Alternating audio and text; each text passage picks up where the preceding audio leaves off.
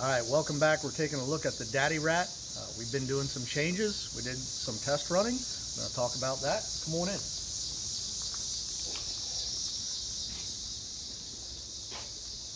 So, down in the hole, you can see there is an injection pump missing.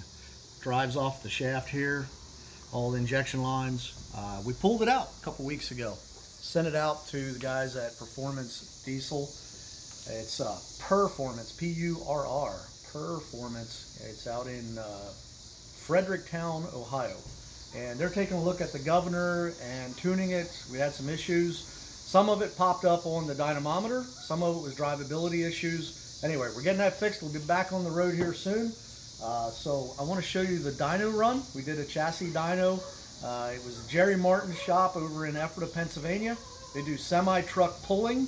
Uh, they build the monster motors for the semi-trucks and big diesels, uh, 15, 16 liter engines. And uh, they're high performance diesel shop. They also will fix your truck and excavators and bulldozers. Uh, so put a shout out to those guys and Purrformance Diesel. Uh, so let's get to the dyno test, and when we come back, I'll wrap it up and give you some some numbers on what we found.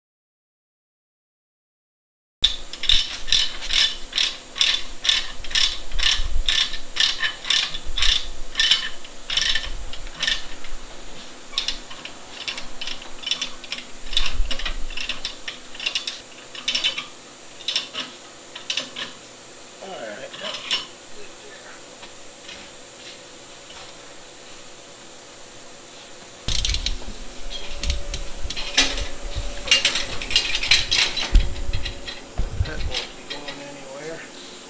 Let me go grab my. Yo.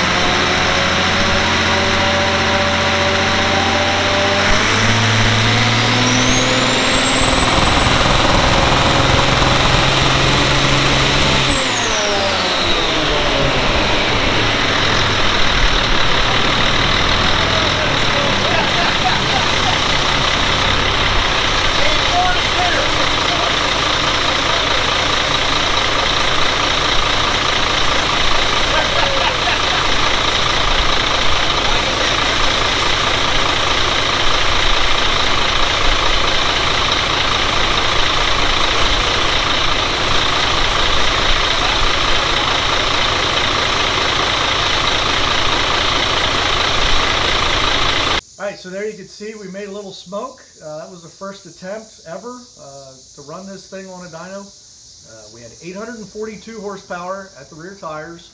The torque was 1950 foot-pounds, and that number was taken at our highest RPM at 2500 RPM, simply because we couldn't keep the transmission locked in fourth gear. Uh, we didn't want to do a downshift under full load, probably split the transmission.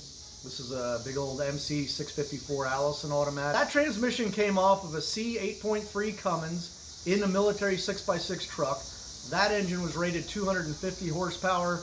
Uh, we're at the flywheel here. We're just a little over a thousand horsepower. When you consider the losses in the transmission, 842 at the tires is, you know, feels pretty good going down the road. But we're going to be a little bit better here once the pump is tuned.